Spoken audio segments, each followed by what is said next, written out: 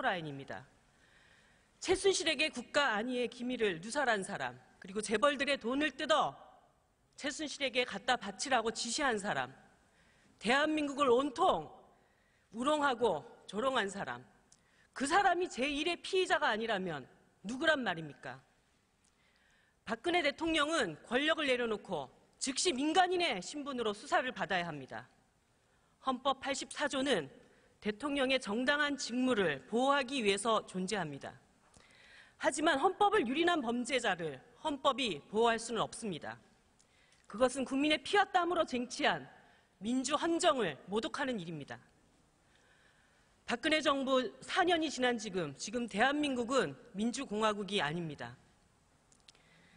박근혜 대통령은 국민의 권력을 최순실 입에 털어넣었습니다.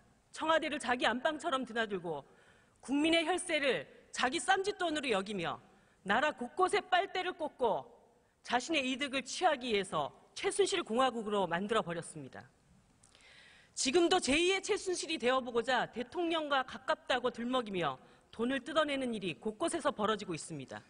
고위공직자들은 이 범죄자의 조력자가 되어버렸습니다.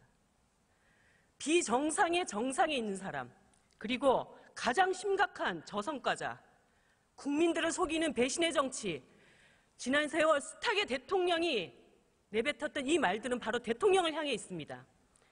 무능하고 비정상적이며 10점짜리도 안 되는 저성과자 대통령이야말로 지금 당장 이 국정에서 퇴출되어야 할 대상입니다. 기억해 보십시오. 대통령은 영예 시절부터 국가 국민으로부터 수많은 보살핌을 받아왔습니다. 그 시절부터 대통령을 사랑했던 수많은 어르신들이 지금 거리 곳곳에서 대통령을 물러나라고 얘기하며 분통을 삼키고 있습니다.